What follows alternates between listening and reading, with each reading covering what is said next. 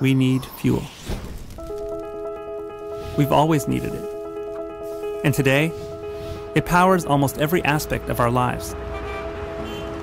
But fuel comes at a cost, and that cost is rising. How do we solve this problem? It's energy efficiency.